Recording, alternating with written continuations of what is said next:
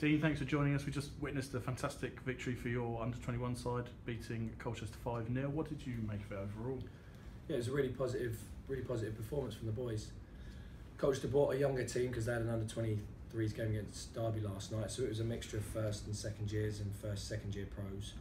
But again, we were young as well. The the back four, a central midfielder and a wide player played for the 18s on Saturday. Then it was filled up through the 10, the wide area, another central midfielder and centre forward with, with first and second year pros. So both sides were young. We were a little bit older, a little bit more experienced. Some of the boys played for the first team, but the performance in the first half was absolutely fantastic. Played within the principles of the academy, some brilliant combination play in and around the box.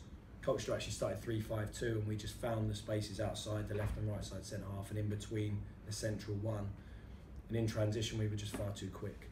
And we created numerous chances in the first half and deservedly came out of it with a with a high scoreline, which happened to be 5 3 for Justin, one for Fanaya, and uh, one for Tyler Brown, who's a second year from the 18s, uh, actually playing at left back, but released into the back post where we've worked on players released into and and uh, yeah, it was a really, really good performance in the first half. You certainly kind of went for the throat early on, as you mentioned. Lots of lovely play in and around the box. You really caused some problems. The fast start, a plan, or was it just kind of everything falling into place? I gave them two messages in the change room before the start of the game. I said just to be decisive with whatever you do. If you decide that it's the right time to attack, then we should see visibly a change of speed.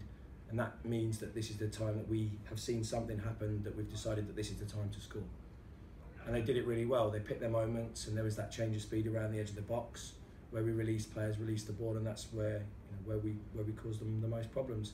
Out of possession, I just said again, be decisive. If you think you can win the football, go and win it. If you can't, just be nice and patient, keep your shape, and just wait for the opportunities. Wait for them to present you the ball, or wait for them to make a mistake and then to counter. So it was all about picking your moment, making your decision, and if you do, do it 100%. And they did that fantastically. And I think it's fair to say in a 5 0 win, the clean sheet aspect is probably overlooked quite often, but you really restricted them in terms of chances, and I can barely remember having a save to make. Yeah, he didn't have a save to make. There was a few half chances in the first half where we were slow in defensive transition and took our foot off the gas when it gets to 3 0 and 4 0. And you start to think this is easy and you start to overplay and make mistakes and maybe think, well, I don't need to recover because even if they do score, it's now only 5 1. And that was really the message at half time. Because it's 5 0, you think, oh, we can take a foot off the gas, we can start to potentially take more touches than we need to. And I said to them, look, you need to take that game, put it to the side, start a new game now. And I know that Colchester's coaching staff had a real strong word with them at half time. Spoke to them at the end. You know, it was kind of archetypal rocket at half time for them because they just stood off us and let us play. and they were much better in the second half, more aggressive, and we still created chances, but we weren't as clinical in the final third. And I think that psychologically and human nature at 5 0, it's harder to drive yourself, harder to think, well, I've got to take this chance because actually, if I don't, there'll probably be another one coming along in a minute. But again, that's a that's a new thing for the boys. Can you keep your foot on the gas? Because suddenly, in a game where it's easy, if a, if a team grabs a couple of goals, it's very hard to then get yourself back on the front foot. So the message from me at the end was, in the future, just to make sure that you keep your foot on.